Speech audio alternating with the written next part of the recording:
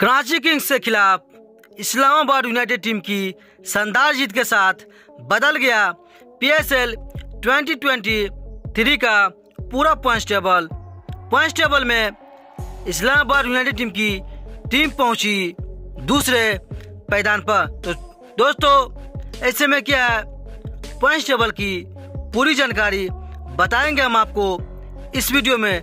लेकिन दोस्तों, इससे पहले आप भी अगर इमाद वसीम को एक बेहतरीन ऑलराउंडर मारते हैं तो इस वीडियो को ज़रूर लाइक कीजिएगा और आप इस चैनल पर अगर नए हैं तो चैनल को सब्सक्राइब ज़रूर कर लीजिएगा।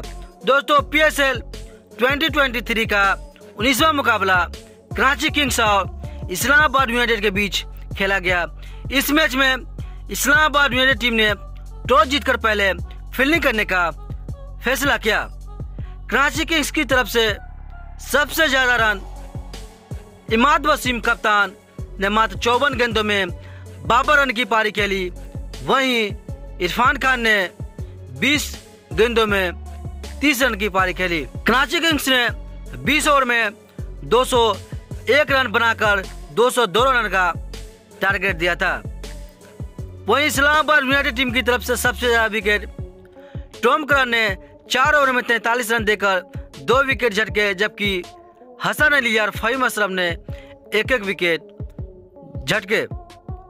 इस्लामाबाद यूनाइटेड टीम की तरफ़ से पारी की शुरुआत करने के लिए आए थे कोलिन मुंडा और एलेक्सल ने। इस्लामाबाद यूनाइटेड टीम को अच्छी शुरुआत देने में नाकामयाब रहा और मुंडो मात्र ग्यारह रन बनाकर आउट हो जाते हैं।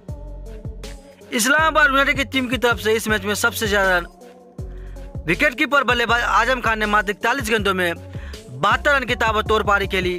वहीं फहीम असलम ने मात्र बत्तीस गेंदों में इकतालीस रन की पारी खेलकर इस्लामाबाद यूनाइटेड टीम को जीत दिला देती है। वहीं कराची किंग्स की तरफ़ से सबसे ज़्यादा विकेट मोहम्मद आमिर, एक विकेट और तबरेज शमसी ने एक विकेट हासिल किए।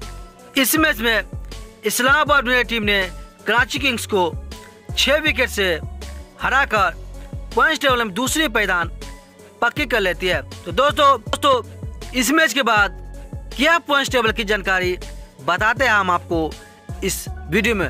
तो दोस्तों, पहले नंबर की बात करें तो लाहौर कंडस की टीम पहले पैदान पर है। लाहौल कंडस की टीम ने अब तक छह मुकाबले खेले। छह में से पाँच में जीत मिली, वही एक में हार का सामना करना पड़ा। टोटल पॉइंट्स की बात करें तो दस है। वहीं दूसरे नंबर की बात करें तो मुल्तान सुल्तान की टीम है। मुल्तान सुल्तान की टीम ने अब तक छः मुकाबले खेले। छः में से चार में जीत मिली वही दो में हार का सामना करना पड़ा। टोटल पॉइंट्स की बात करें तो आठ है। वहीं जीत के साथ इस्लामाबाद यूनाइटेड टीम तीसरे पैदान पर पहुँच गई है। इस्लामाबाद यूनाइटेड टीम ने अब तक पाँच मुकाबले खेले हैं। पाँच में से तीन में जीत मिली, वहीं दो में हार का सामना करना पड़ा है। टोटल पॉइंट्स की बात करें तो छः है। वहीं चौथे नंबर की बात करें तो पेशावर जालमी की टीम है। पेशावर जालमी की टीम ने अब तक छह मुकाबले खेले छः में से तीन में जीत मिली, वहीं तीन में हार का सामना करना पड़ा। टोटल पंच की बात करें तो छः वहीं इस हार के साथ कराची किंग्स पाँचवें पैदान पर बनी हुई है।